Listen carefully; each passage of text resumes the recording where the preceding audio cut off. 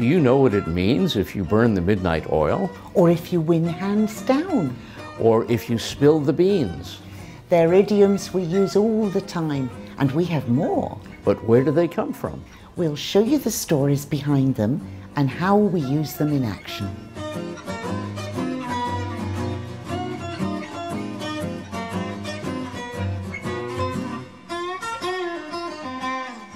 The first idiom we have for you is put your best foot forward. It's interesting because it has a different meaning in British and American English. In British English, if we put our best foot forward, then we try as hard as possible to do something, even when it's really difficult or we're tired.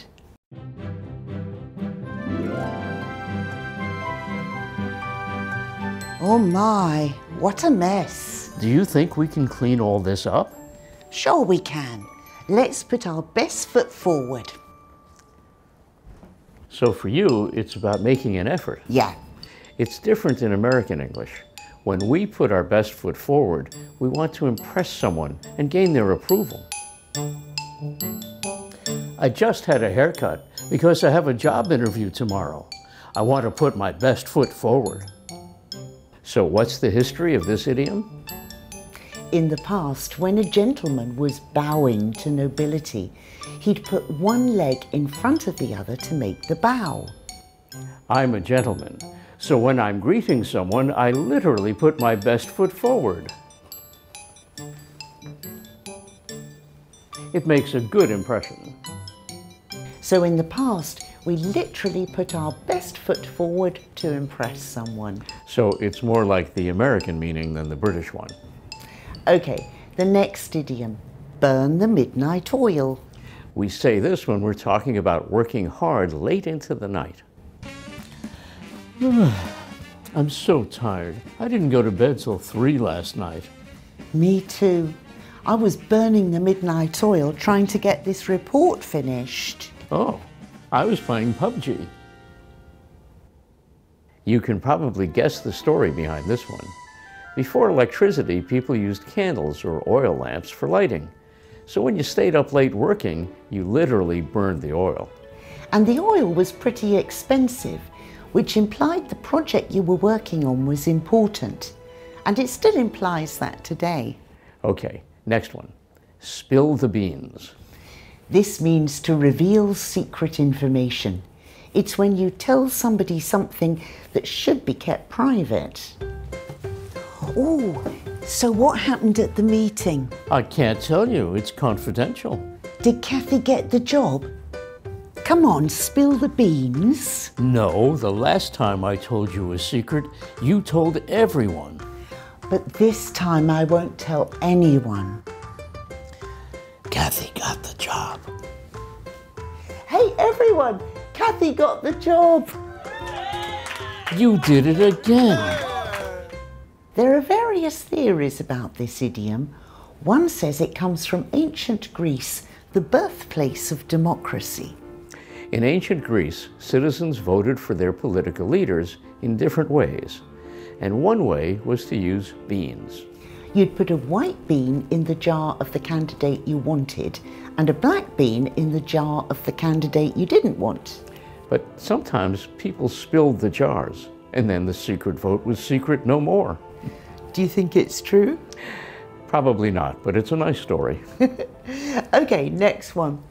Born with a silver spoon in your mouth. If someone's born into a rich or wealthy family, we can say they were born with a silver spoon in their mouth.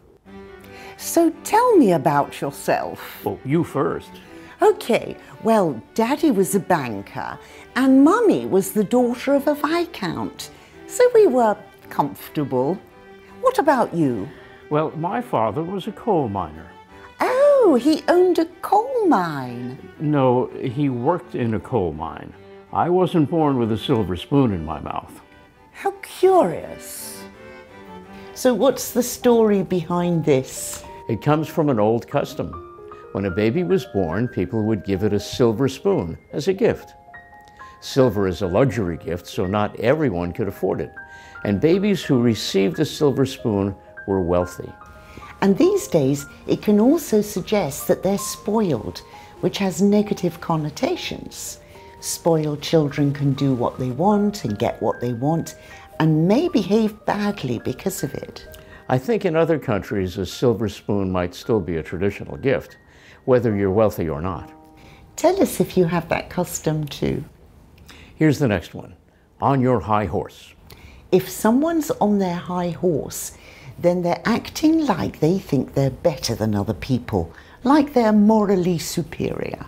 And they think they're right and other people are wrong. Let's see it in action.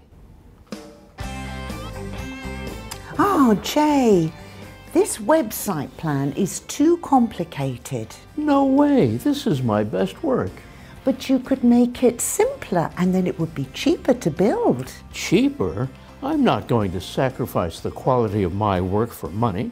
Oh, don't get on your high horse. It's perfect. But it's very complicated. Think about it. Try to see it from my point of view.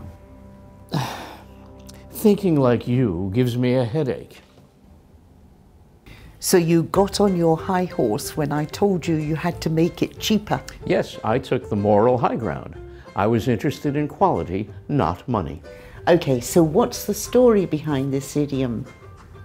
Well, in the past, common people walked, and only rich and powerful people had horses. Superior people rode. Getting off your high horse literally meant getting off your horse and coming down to the level of ordinary people. And we apply it to people who think they're superior. Okay, we have one more. Hands down.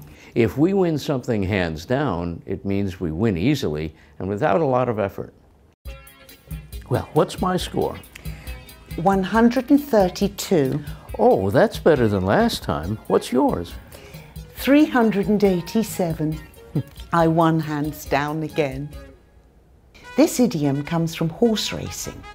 Jockeys control their horses by holding the reins, the leather bands attached to a bar in the horse's mouth. And if a jockey is a long way ahead in a race, they can take their hands off the reins and put them down. They can sit back and relax and still win. If you win hands down, you win easily and without any doubt. Without doubt is another part of the meaning. Hands down means without question.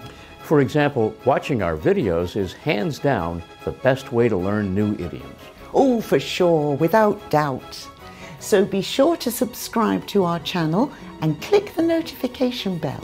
That way you'll be notified when we post a new video. Bye, everyone. Bye bye.